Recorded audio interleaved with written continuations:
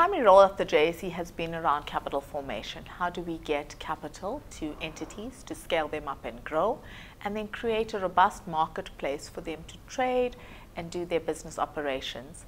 Our response and our excitement through JPP is um, to respond in a very different fashion. It's a new era for the JSE. There's been a global trend away from public markets to private markets. And, uh, and by launching JSE private placements, the JSE is providing an alternative for capital formation for growth companies of South Africa. Um, we've taken on a genre-specific focus uh, that resonates with the national agenda objectives, things like SME development and infrastructure, but really uh, private placements gives you an alternative to raise capital, uh, either through private equity or private debt, which will stand alongside our public market space and give investors and, um, and entrepreneurs and businesses opportunities to find different sources of capital. So this journey started in 2019 where the JSE knew we needed to respond to alternative capital raised through private placements. Um, and uh, in, uh, throughout the 2020 year, we worked on that vision and we saw the funds and the um, flows build up in the space. We entered into a strategic partnership through an equity investment into a UK fintech called Globacap. Globacap is an established uh, private placements business in the UK and we use their technology to roll out JPP. So JPP is operational officially.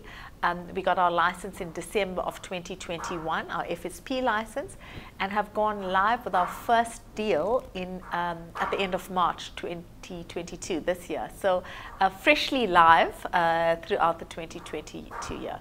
Our first deal that went live is a hospital development in Musina in, in Limpopo, right on the border with Zimbabwe. It's a private hospital. There's no private hospital um, within 200 kilometers of, of Messina.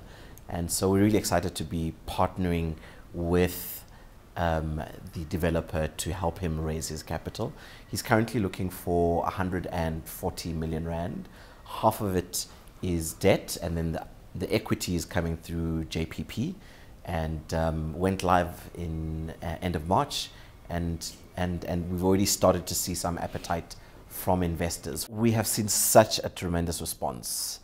Um, all sorts of different types of SMEs and infrastructure developers coming to us. So lots of renewable energy projects, lots of housing projects, student housing, um, uh, hospitals uh, seems to be the flavor of the month. So really, really, really um, thankful for the amount of appetite that we're seeing in the market. And it talks to the fact that this is a product that's been needed for a really, really long time.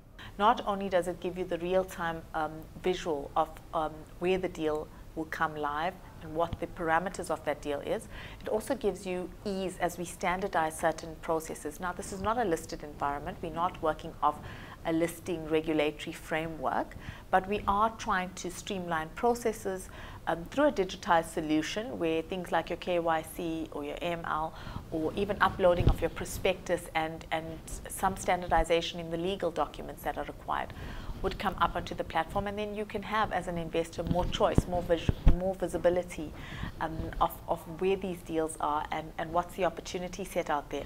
And as the platform matures and the marketplace matures, you start then building a track record or a history or a database of some of the comparatives that you can find in the industry.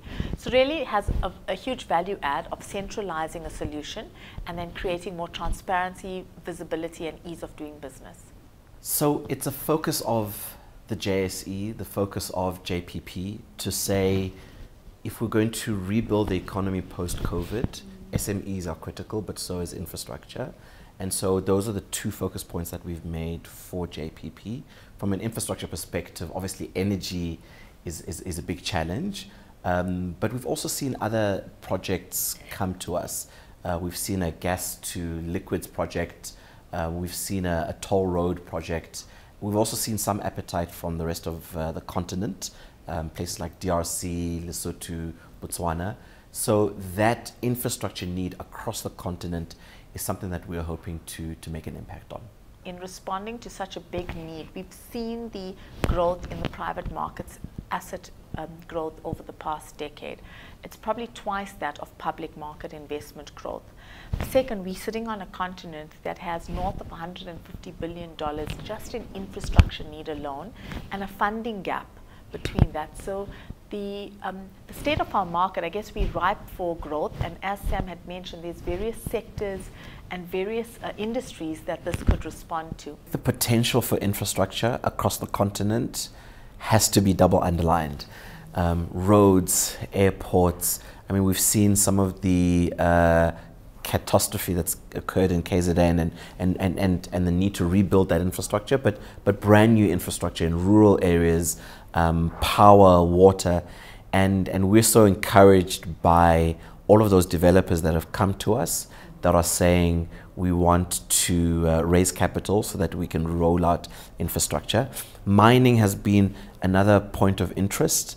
Um, we, we, we're seeing good demand for battery related minerals where people want to um, participate in the battery revolution and in the EV revolution.